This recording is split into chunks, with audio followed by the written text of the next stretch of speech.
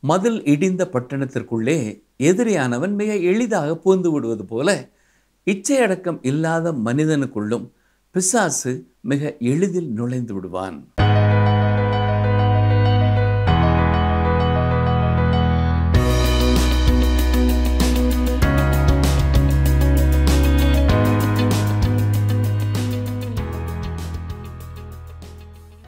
நாம் தொடர்ந்து இந்த வேத ஆராய்ச்சி நிகழ்ச்சியில் நீதிமொழிகளிலிருந்து தியானித்து வந்து கொண்டிருக்கிறோம்.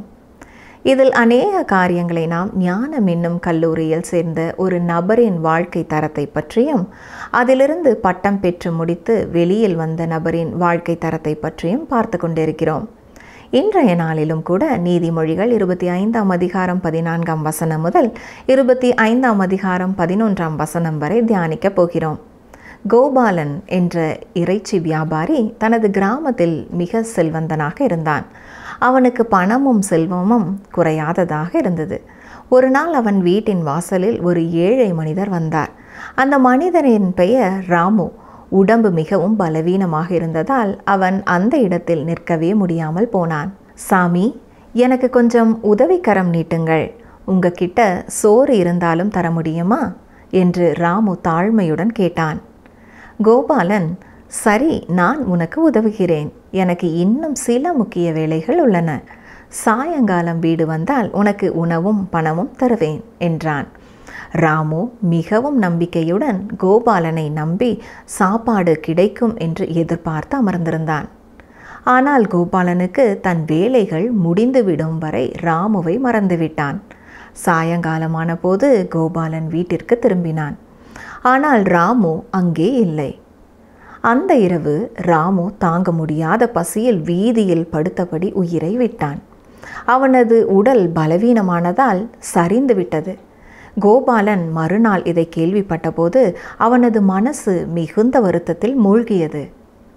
நான் அந்த நேரத்தில் சிறிது நேரம் செலவழித்து அவனுக்கு உதவி இருந்தால் அவன் இன்னும் உயிரோடு இருப்பான் என்று கோபாலன் தன் தவறை உணர்ந்தான்.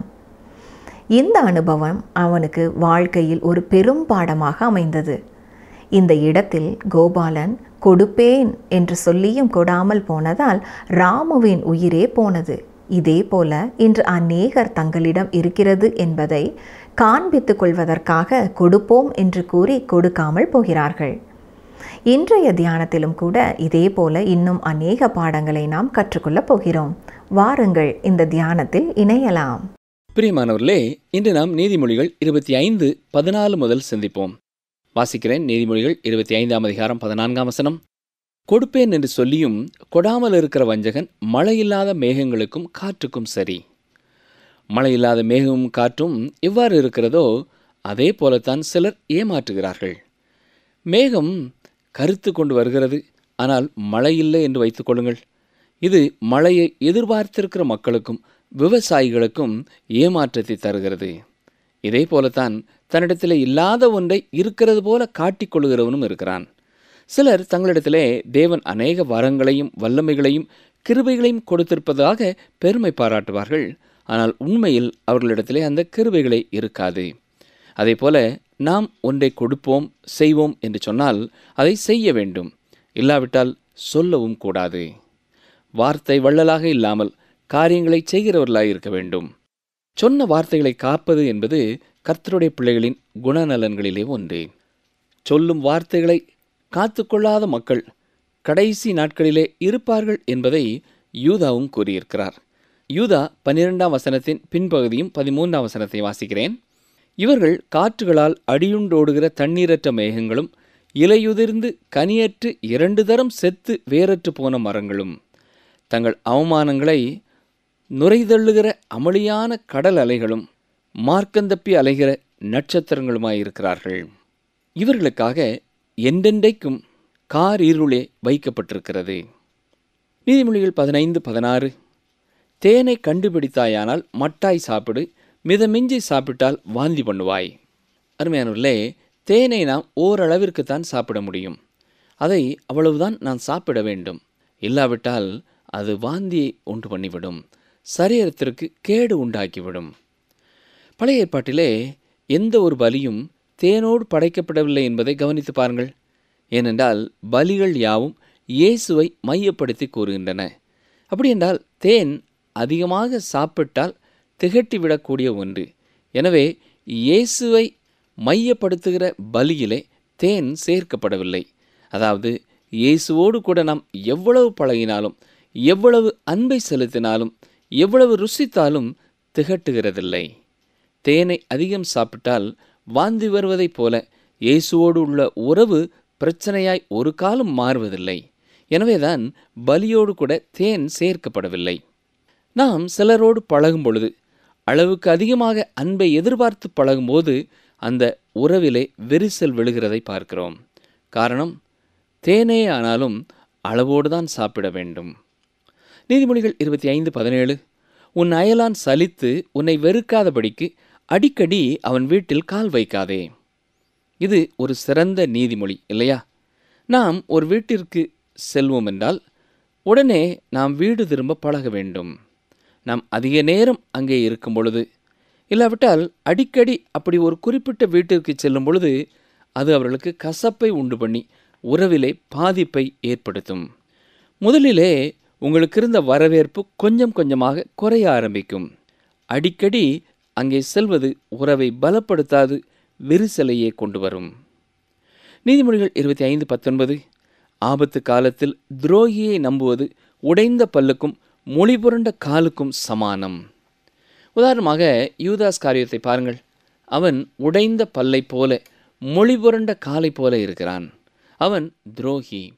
இது போன்ற நபர்களை உங்கள் வாழ்க்கையிலையும் நீங்கள் சந்தித்திருக்கலாம். நீங்கள் துரோகி என்று கண்டுகொண்ட நபர்களை எந்த வேளையிலேயும் நம்பாதிருங்கள். நீதிமொழிகள் இருபத்தி ஐந்து இருபத்தி ஒன்று இருபத்தி இரண்டாம் வசனங்கள் உன் சத்துரு பசியாயிருந்தால் அவனுக்கு புசிக்க ஆகாரம் கொடு. அவன் தாகமாயிருந்தால் குடிக்க தண்ணீர் கொடு. அதனால் நீ அவன் தலையின் மேல் எரிகிற தளல்களை குவிப்பாய். கர்த்தர் உனக்கு பலனளிப்பார். இதே கருத்தை புதிய ஏற்பாட்டிலே இயேசு கிறிஸ்துவும் பௌலப்போஸ்தலனும் கூறியிருப்பதை நீங்கள் பார்த்திருப்பீர்கள். இது கிறிஸ்தவ வாழ்க்கையிலே மிக அடிப்படையான ஒரு சத்தியமாகும். நீதிமொழிகள் இருபத்தி ஐந்து இருபத்தி மூன்று வட காற்று மழையையும் புறங்கூறுகிற நாவு கோப முகத்தையும் பிறப்பிக்கும். வடகாற்று மழையை கொண்டு வரும் புறங்கூறுவதை கேட்டவுடன் அதை கேட்கிறவர்களுக்கு கோபமே ஏற்படும்.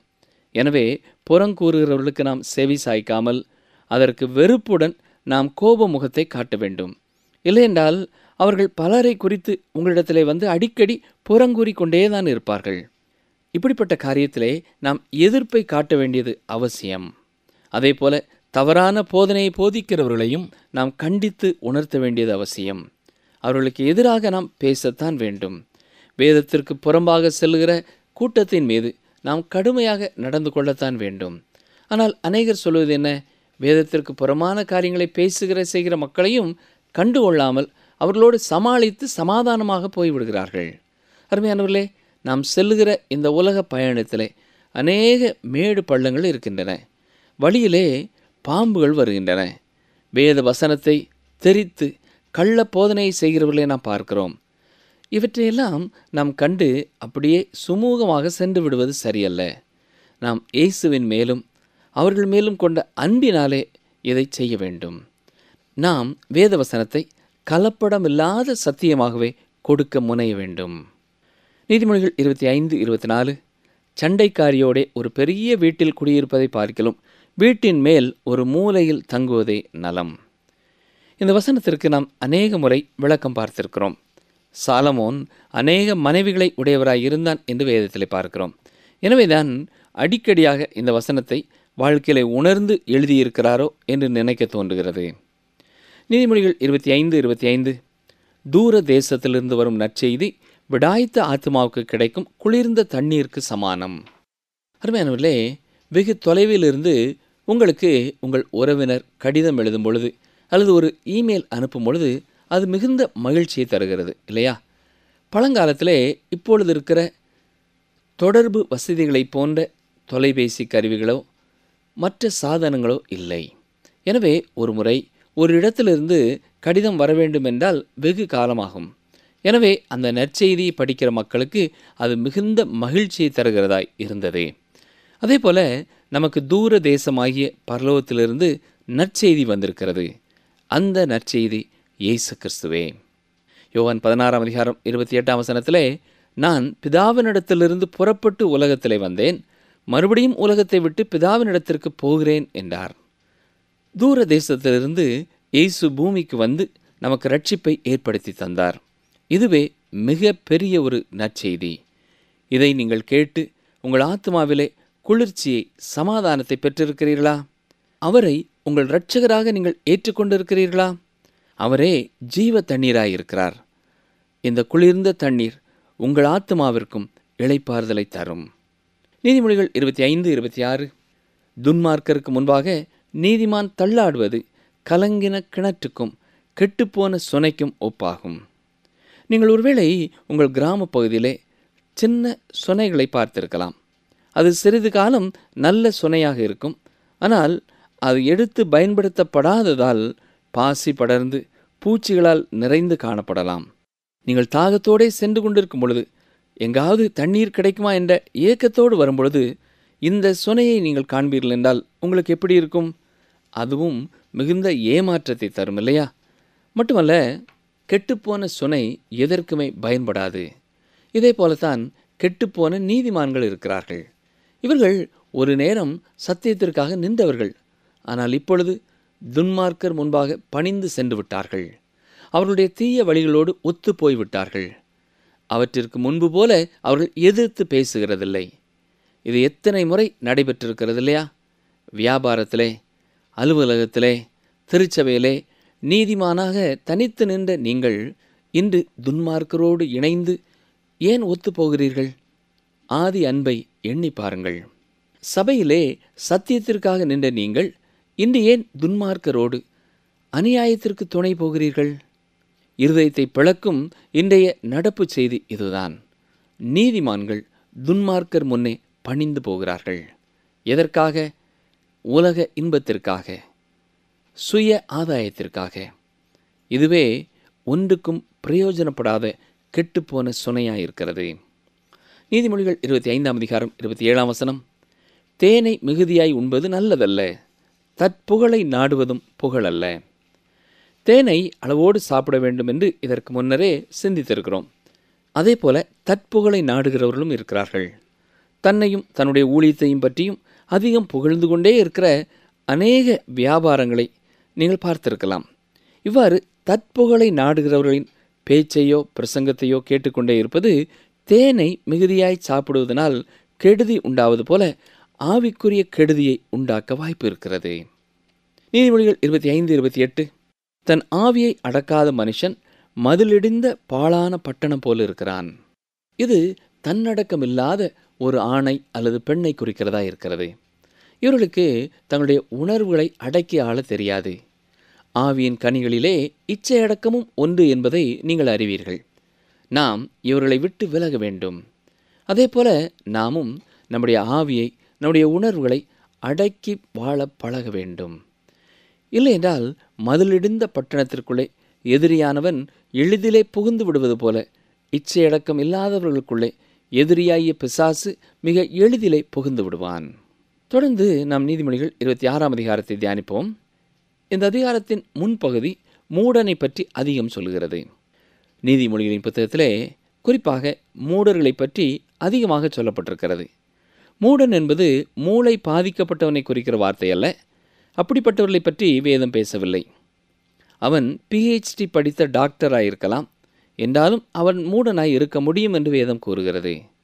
பாமரனாக இருந்தாலும் மிக அறிவாளியாக ஞானியாகவும் இருக்க முடியும் என்றுதான் வேதம் கூறுகிறது. தாவிது சங்கீதம் பதினாலு ஒன்றிலே இவ்வாறு எழுதியிருக்கிறார். தேவன் இல்லை என்று மதிகட்டவன் தன் இருதயத்தில் சொல்லிக் கொள்கிறான். அதாவது அவன் உலக அறிவிலே ஞானியாக இருந்துவிட்டு தேவனை பற்றிய அறிவில்லாதவனாய் இருந்தால் அவன் மூடன். மூடன் என்ற வார்த்தைக்கு எபிரேய மொழியிலே பயன்படுத்தப்பட்டிருக்கிற சொல்லின் அர்த்தம் பைத்தியக்காரன் என்பதாகும். தேவன் இல்லை என்று சொல்லுகிறவன் பைத்தியக்காரனாயிருக்கிறான். அதே போல பைத்தியக்காரன் என்று சொன்னவுடன் சிலர் மனநோயால் பாதிக்கப்பட்டிருக்கிறவர்களை நினைக்கிறார்கள். அப்படிப்பட்டவர்களை இந்த சொல் குறிக்கிறதாக இல்லை. தேவனை பற்றி கொள்ளாமல் அவரை இல்லை என்று சொல்லிக்கொண்டு அதற்காக சில கொள்கைகளை உருவாக்கி கொண்டு வாழ்ந்து கொண்டிருக்கும் மக்களையே தேவன் பைத்தியக்காரர் என்று அழைக்கிறார். நீதிமொழிகள் இருபத்தி ஆறு ஒன்று உஷ்ண காலத்திலே உறைந்த பனியும் அறுப்பு காலத்திலே மழையும் தகாதது போல மூடனுக்கு மகிமை தகாது. மூடன் எப்படி காணப்படுவான் என்றால் அவன் தன்னுடைய மகிமையை குறித்து கவலைப்படவே மாட்டான். அதை தியாகம் செய்து விடுவான். குறிப்பாக சொல்ல வேண்டுமென்றால் மூடனுக்கு மகிமை அதாவது மதிப்பு என்று ஒன்றே கிடையாது. நீதிமொழிகள் இருபத்தி ஆறு இரண்டு பாருங்கள்.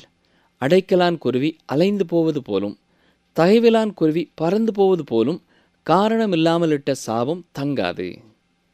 சிலர் எப்பொழுதும் சாபமிடுவதை நீங்கள் பார்த்திருக்கலாம். இந்த அநேக கர்த்தருடைய பிள்ளைகள் என்று சொல்கிறவர்களும் சாபமிடுகிறவர்களாய் காணப்படுகிறார்கள். அவர்கள் தங்களை தீர்க்கதரிசிகள் என்றும் சொல்லிக் கொடுக்கிறார்கள். ஆனால் அவர்கள் உண்மையான தீர்க்கதரிசி அல்ல. உண்மையான தீர்க்கதரிசி கூறியது அவ்வாறே நடக்கும் என்று உபாகமம் பதினெட்டு இருபது முதல் இருபத்தி இரண்டு வசனங்களிலே நாம் பார்க்கிறோம். அது தவறில்லை. ஆனால் இந்த கள்ள தீர்க்கதரிசிகள் தேவனிடத்திலிருந்து எந்த செய்தியையும் பெற்றுக்கொள்ளாமலேயே தங்கள் உள்ளத்தில் உள்ளதை சொல்கிறார்கள். சாபமிடுகிறார்கள். இவை காரணமில்லாமலிட்ட சாபங்களாகும். இவை ஒன்றும் பலிப்பதில்லை. இவைகளுக்கு நீங்கள் பயப்பட வேண்டாம். நீதிமொழிகள் இருபத்தி ஆறு மூன்று. குதிரைக்கு சவுக்கும் கழுதைக்கு கடிவாளமும் மூடனுடைய முதுகுக்கு பிரம்பும் ஏற்றது. இது ஒரு சிறந்த காரியம். குதிரையை சவுக்கை கொண்டும் கழுதையை கடிவாளத்தை கொண்டும் அடக்கி ஆண்டுவிட முடியும். அதே போல மூடன் எந்த வார்த்தைகளுக்கோ கோபத்திற்கோ அடங்கி செல்ல மாட்டான். அவனுக்கு பிரம்பை கொண்டு அடித்தால்தான் உரைக்கும். அப்பொழுதுதான் அவன் கட்டுப்படுவான். நீதிமொழிகள் இருபத்தி ஆறு நான்காம் ஐந்தாம் அவசரங்கள் மூடனுக்கு அவன் மதியீனத்தின்படி மறு உத்தரவு கொடாதே கொடுத்தால் நீயும் அவனைப் போலாவாய். மூடனுக்கு அவன் மதியினத்தின்படி மறு உத்தரவு கொடு. கொடாவிட்டால் அவன் தன் பார்வைக்கு ஞானியாயிருப்பான். இந்த வசனங்களை அநேகர் சுட்டிக்காட்டி வேதம் முன்னுக்கு பின் முரணாய் பேசுகிறது என்று சொல்வார்கள். இல்லை பிரியமானவர்களே இதில் ஒரு முரண்பாடும் இல்லை. இந்த இரண்டு வசனங்களும் மூடர்களை நாம் நடத்த வேண்டிய இரண்டு வித்தியாசமான வழிமுறைகளை ஆலோசனையாய் தருகிறது. ஒரு போதகர் தன்னுடைய அனுபவத்திலிருந்து இதை விளக்கி இருக்கிறார் கவனியுங்கள் அவருடைய அலுவலகத்திற்கு அநேக கடிதங்கள் வரும். அதில் சிலவற்றிற்கு பதில் எழுதுவார். சில கடிதங்களுக்கு அவர் பதில் எழுதுகிறதில்லை. ஏனென்றால் சில கடிதங்கள் மூடத்தனமாய் எழுதப்பட்டிருக்கும். எனவே அவர் அதற்கு பதில் எழுதுகிறதில்லை. அவ்வாறு எழுதினால் அவரையும் மூடனாக கருதக்கூடிய வாய்ப்பு ஏற்பட்டுவிடும். நீங்கள் மூடரோடு பேசி பழகி கொண்டிருந்து அவர்களுக்கு அதிக இடத்தை கொடுப்பீர்கள் என்றால் நீங்களும் மூடர்கள் போல கருதப்படுவீர்கள். இல்லையா? அதே வேளையிலே சில மூடர்களுக்கு அவர்களுக்கு ஏற்றபடியான பதிலையும் கொடுக்க வேண்டும். இல்லாவிட்டால் அவர்களுடைய கேள்விகளுக்கு நாம் பதில் சொல்ல இயலவில்லை என்று எண்ணிக்கொண்டு தாங்களே பெரிய ஞானிகள் என்றும் பெருமை பாராட்ட ஆரம்பித்து விடுவார்கள். எனவே அப்படிப்பட்ட மூடர்களுக்கு அவர்கள் புரிந்து கொள்ளும் திறனுக்கு ஏற்றபடி நம்மை தாழ்த்தி சென்று விளக்கி அவர்கள் மூடத்தனமான பெருமையை அடக்க வேண்டும்.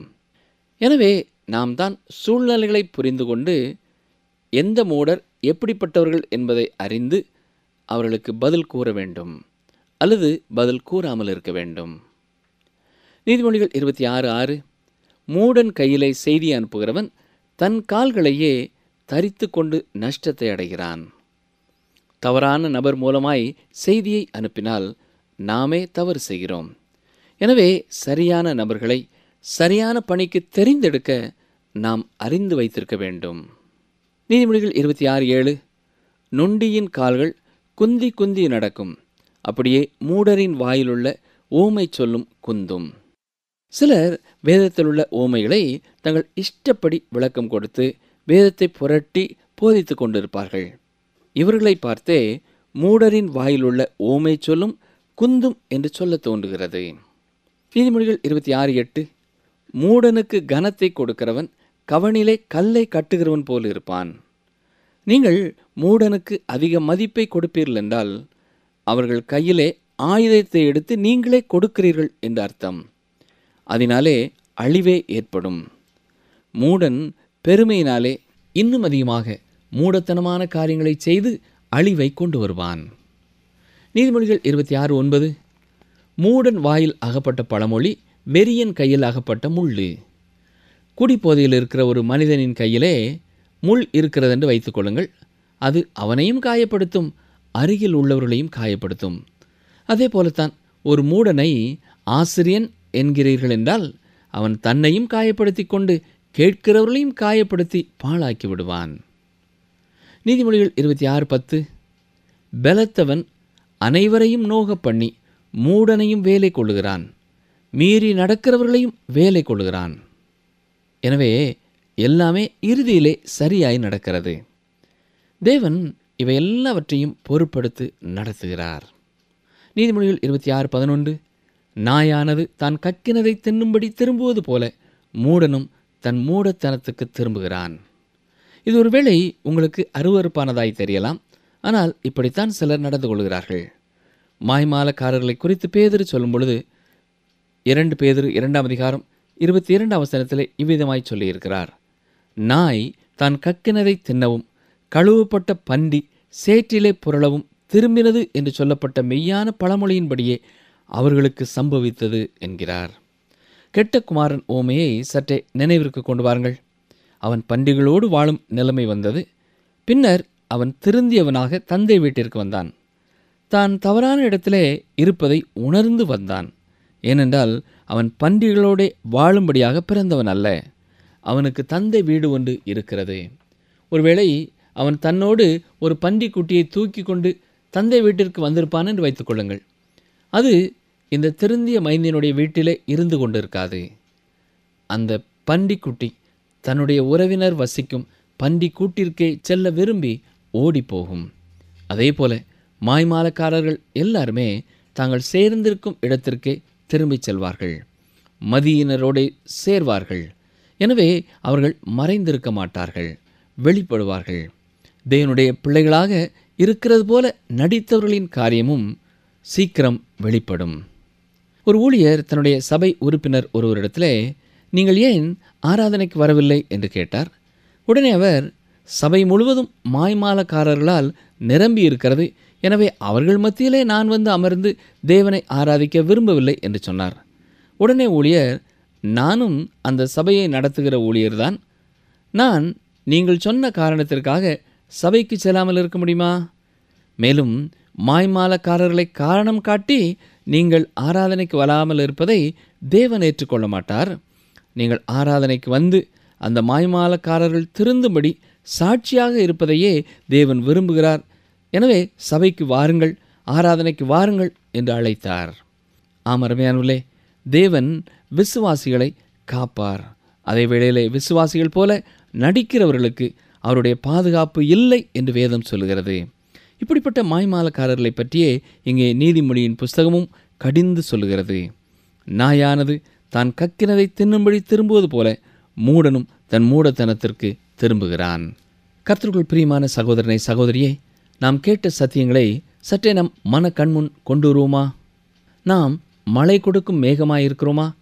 மற்றவர்களின் எதிர்பார்ப்பை பூர்த்தி செய்கிறவர்களாயிருக்கிறோமா?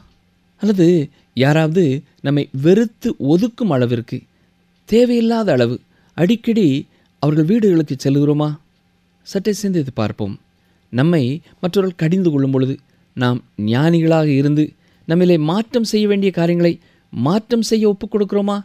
அல்லது மூடர்களைப் போல பிறம்பு வரும் வரை அசட்டையாயிருக்கிறோமா? நாய் கக்கினதை மீண்டும் தின்ன திரும்புவது போல நாம் வேண்டாமென்று வெறுத்து ஒதுக்கிய பாவம் எதையாவது மீண்டும் விரும்பி செல்கிறோமா? சற்றே ஆராய்ந்து பார்ப்போம். கர்த்தர் நம்முடைய உள்ளத்திலே பேசுகிற காரியங்களை சரி செய்து அவருக்குள் மகிழ்ச்சி நிறைந்த வாழ்க்கை அனுபவிப்போம். ஜெபம் செய்வோம். எங்களை நேசிக்கிற அன்பின் ஆண்டவரே இன்றைக்கும் எங்களுக்கு நீர் நினைவுபடுத்தின சத்தியங்களுக்காக நாங்கள் உங்களுக்கு நன்றி செலுத்துகிறோம். எங்கள் யார் யாருடைய வாழ்க்கையிலே எதை குறித்து நீர் பேசினீரோ அதை குறித்து நாங்கள் தொடர்ந்து ஆழமாய் சிந்திக்க உதவி செய்யும்.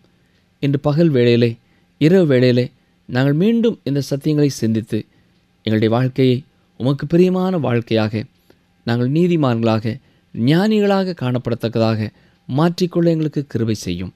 உடைய பரிசுத்த ஆவியானவரின் வல்லமையினாலே அதற்கு எங்களுக்கு நீர் பலன் தாரும். ஏய் சுரட்சகரின் நல்ல நாமத்தினாலே கேட்கிறோம் பிதாவே. ஆமேன். இன்றைய தியானத்திலும் நாம் அநேக காரியங்களை கற்றுக்கொண்டோம். குறிப்பாக நாம் ஒருவரிடம் கொடுப்பேன் என்று சொல்லிவிட்டால் கொடாமல் இருக்கக்கூடாது. அப்படி கொடாமல் இருந்தோம் என்றால் மழை பெய்யாத மேகங்கள் போல இருப்போம். அதே போல ஒரு அயலான் வீட்டான் ஒருவன் இருந்தால் அவன் வீட்டில் நாம் அடிக்கடி கால் வைக்கக்கூடாது.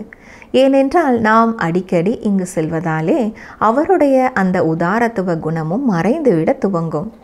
அது மட்டுமல்லாமல் இன்றைய கிறிஸ்தவ சமுதாயத்திற்கு முக்கியமான ஒரு விஷயத்தை கற்றுக்கொண்டோம். என்னவென்றால் புறம் கூறுகிற நாவினிடத்தில் கோபத்தை காட்ட வேண்டும். அதாவது ஒருவர் நம்மிடம் பிறரை பற்றி தவறாக அவதூறாக பேசுவதற்கு வந்தார்கள் என்றால் அவர்களிடம் நாம் கோபத்தை காட்டி அவர்களை அனுப்பிவிட வேண்டும். அது மட்டுமில்லாமல் சில கள்ள தீர்க்கதரிசிகளும் கள்ள போதகர்களும் நம்மிடம் வந்து கட்டுக்கதைகளை அவிழ்த்துவிட துவங்கினால் நாம் அவர்களிடம் கோபத்தை காட்டி விரட்டி விடுவதற்கு எப்பொழுதும் தயாராக இருக்க வேண்டும். இருபத்தி ஆறாம் அதிகாரம் ஒன்றாம் வசனத்திலே மூடன் தேவன் இல்லை என்று சொல்பவன் என்பதை நாம் கற்றுக்கொண்டோம். இப்படிப்பட்டவனுக்கு மகிமை தகாது அவனுக்கு மதிப்பு கிடையாது. பிறகு மிகவும் குழப்பத்தை ஏற்படுத்தக்கூடிய நான்காம் மற்றும் ஐந்தாம் வசனத்தை தான் அதில் மூடர்கள் வழி நடத்துவதற்கு வித்தியாசமான இரண்டு வழிகளை நாம் கண்டறிந்து கொண்டோம். அதாவது சில இடங்களில் அவர்களை கண்டிக்க வேண்டும்.